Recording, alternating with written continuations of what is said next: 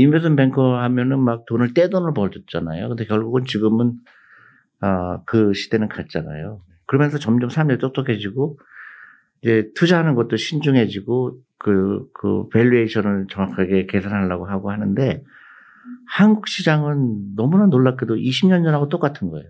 그러니까 테마주. 그래서 어, 메타버스다 그러면 메타버스 수혜주라고 그래서 나오는데 나는 한 번도 들어보지 못한 회사들이 다 대부분인 거예요. 이제는 더 이상 이 투자가들을 그렇게 호소하면 안 될 것 같은 거예요. 미국도 보면은 그 결국은 미국의 그런 거를 바꿀 수 있었던 거는 기간 투자가 많았기 때문에 그런 걸 보거든요. 퇴직연금 시장이 네. 기간 투자. 근데 한국은 아직도 개인들이 그 투자를 하다 보니까 쉽게 그런 데에 이제 유혹을 받는 거죠. 그 빨리 부자가 될 거로 착각을 하게 되고. 그러니까 시장이 혼탁해지는 거예요. 근데 거기에 많은 금융기관이 같이 그런 생각을 하는 경우가 많은 거죠.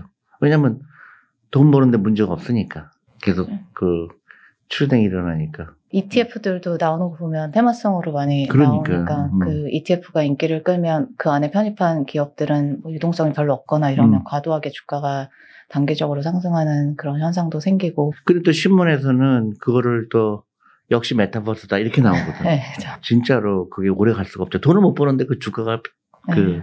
지탱할 수가 없죠. 근데 저희 뭐 음. 이런 global crisis 겪었을 때도 생각할 수 있는 음. 주제가 레버리지를 그러니까 항상 과도한 부채가 좀 문제가 되는데 버블은 끝날 때까지 끝난 게 아니다 이런 얘기도 있지만 음. 모든 게 버블이라는 얘기는 아니지만 일부 버블이 있는 자산군들이나 뭐 일부 주, 주식이나 이런 것들은 있기는 한데 이제 과거에 그 레버리지가 풀릴 때 그 무서움을 알잖아요. 그러니까 단순히 뭐 그것만큼 하락하는 게 아니라 레버리지가 풀리면서 더 큰 변동성을 가져오는 그렇죠. 부분에 음, 근데 음. 이제 한국에서 보면은 어, 정말 레버리지에서 주식 투자하시거나 하시는 분들이 너무 많으신 것 같아가지고, 예, 그, 잘 모르는 기업에 레버리지 해서 들어간 제일 최악의 어떻게 보면 시나리오인데, 예전에 97년이나 2008년 생각해 보시면 그런 레버리지 때문에 충격적이었던 그런 변동성을 경험한 간접적으로 관찰하신 경험이 있으실까요? 아니, 그럼요. 그 IMF가 오기 전에 그 결정적인 거는 이제 어카운터빌리티예요. 그러니까 아무도 책임지지 않는 문화.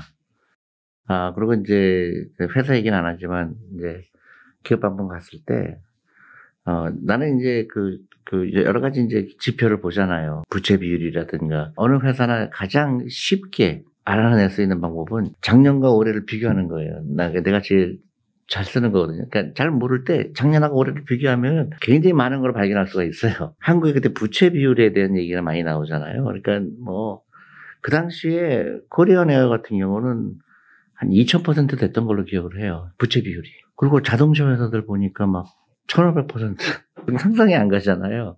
근데 굉장히 신기한 걸 발견했어요. 작년하고 올해하고 비교하는데 부채가 막 한 40% 올라간 거예요. 근데 그럼 당연히 뭐가 올라가야 될까? 이자 비용이 올라가야 되잖아. 근데 이자 비용 그대로 있는 거예요.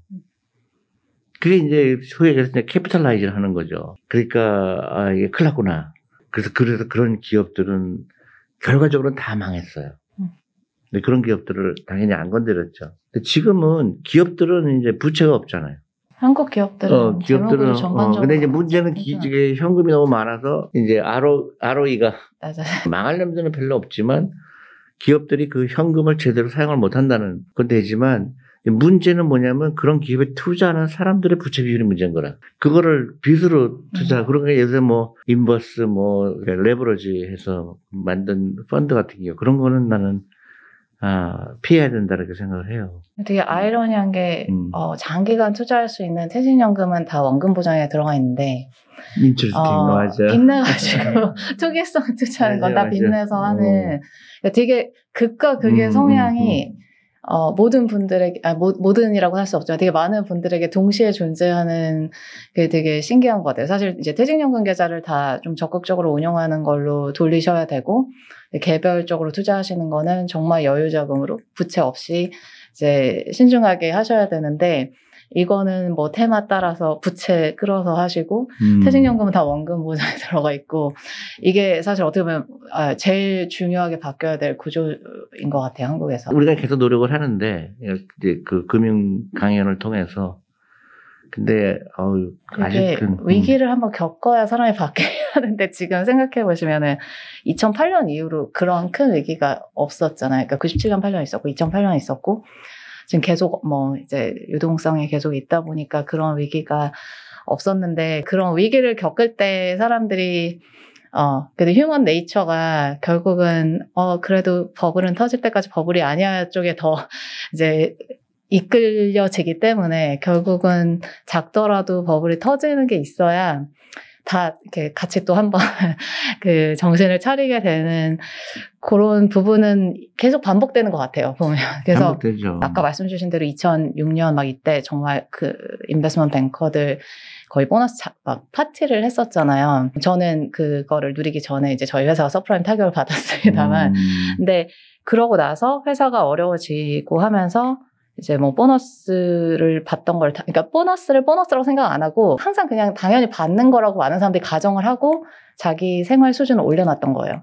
근데 이제 뭐 회사가 지금 너무 어려워진 상황이 되니까 보너스 다 동결되고 없고, 어, 근데 뉴욕에서 이제 다들 세금 내고, 렌트 내고, 자녀 학교 내면 정말 생활비가 없어지는 모자라는 상황이 다들 되고, 음, 음. 그때부터 뱅커들의 어 좀 생활 그 라이프스타일도 되게 많이 바뀌었던 것 같아요. 뭐 요즘은 다시 또 불마켓으로 들었는데 그러고 나서 직후에는 다들 이제 씀씀이나 예, 이런 것들이 많이 바뀌었던 것 같고 위기가 딱 있기 전까지는 힘들더라고요 보니까. 이제 버블이 이제 언젠가 또올 수도 있고 하는데 그 준비하는 거, 그 철학이 굉장히 중요한 것 같아요. 내가 이러던 라자드는 어 굉장히 자기네가 잘하는 것만 했잖아요. M&A라든가 아주 특화한 부분에 그 갖고 또 한 가지 중요했던 거는 절대로 욕심내 갖고 자기 음. 지- 자기 돈으로 투자 안 했던 게 결정적이었던 것 같아요. 그 당시에 리만이 망하고 메릴린치 망하고 막 할 때 라자드는 최대 호황이었어요. 왜냐하면 경쟁사가 다 죽었고 리만이 망하게 되니까 어떻게 돼요? 부채나 이런 정리를 해야 되잖아요. 그 역할을 누가 했냐? 라자드가 한 거예요. 음. 근데 그 거기에 컨설팅 fee가 무지막지한 거예요. 이거는 돈을 100% 받아요. 그러니까 이건 꽃놀이패인 거예요. 그래서 야, 이 위기가 오더라도 제대로 된 철학을 가진 사람은 이때 또 엄청난 돈을 벌 수가 있고 막 위기 그런 버블에 편승해서 빚을 막 왕창 내서 막 한 사람들은 진짜로 이제 완전 없어지는 거예요. 리만 없어졌잖아요. 음. 그래서 우리 개인들도 그렇게 좋은 투자 철학을 갖고 있으면 위기를 예측할 수는 없지만 위기가 왔을 때 또 한 번 큰 그 불을 이룰 수 있는 계기가 되지 않을까. 나는 그게 교훈인 것 같아요. 가까운 예시가 작년에 코로나 팬데믹 선언됐을 때 음. 시장이 사실 필요 이상으로 더 빠졌던 이유 중에 하나가 이제 음. 헤지펀드들이나 이런 데서 레버리지 들어간 포지션들이 이제 그 그렇지. 언와인딩을 해야 음. 되면서 추가적으로 사실 펀더멘털과 음, 상관없이 더 이제 하락을 했는데 그때 이 투자 철학이 확고하고 또 계속해서 여유 자금이 있고 레버리지 없고 그냥 본인들 계속해서 여유 자금이 생성되시는 분들은 그때 다 추가 매수를 하실 수 있는 거였잖아요. 시장이. 맞아요. 그런 레버리지 된 분들 때문에 더 미, 음, 이성적으로 음. 이제 하락할 때. 근데 이제 그때 반대편에 계신 분들은 더 싸게 계속 팔아야 음, 되는 음, 걸 음, 경험하시게 음. 된 거였어서.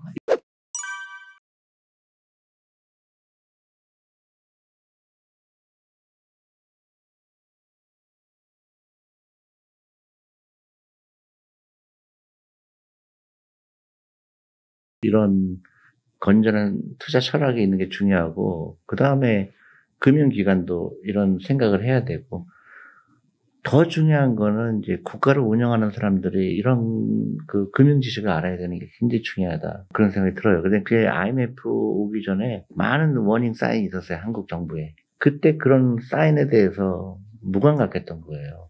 결국은 그 기업 지배구조 결국 corporate governance. 미- 저는 리만 사태도 governance라고 생각해요. 미국의 은행들의 그 나태함, 그 greedy한 거, 그 욕심 많은 거. CEO들 돈 벌어주기 위해서 막 리스크를 막 음. maximize 한 거. 결국은 그게 아, 망하게 된 것 같고. 좀 여담인데 지금 중국에서 부동산 막 문제 음, 얘기 많잖아요. 근데 음. 제가 이제 investment banking 떠나기 전 2015년에 이제 그쪽에서는 은퇴를 한 건데 그 전에 중국 부동산 회사들이랑 홍콩에서 미팅을 할 때 수익은 다 나는 것처럼 보이잖아요. 근데 이제 돈의 cash flow가 음. cash flow를 어떻게 manage를 하냐 음. 그랬더니 그 꽤 큰 회사의 CFO 분인데 우리는 cash flow manage 안 해 이렇게 대답을 하는 거예요. 아, 그래가지고 음, 음. 거기 있던 그 small group meeting에 있던 모든 투자자들이 정말 5초간 침묵.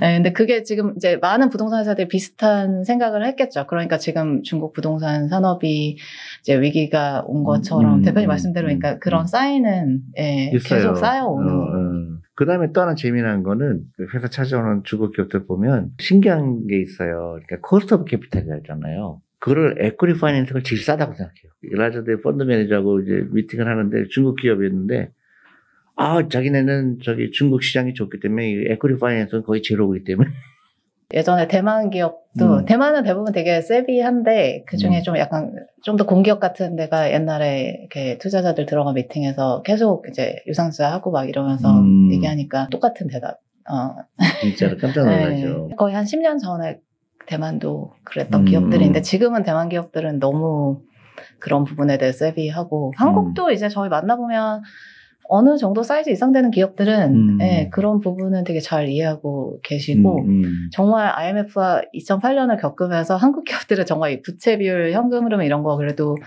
매우 많이 신경을 쓰시는 것 같아요. 그 옛날에 그 한국 기업에서 보면 PER 얘기하고 price book 얘기하고 reserve ratio라는 거 있었던 거 아세요?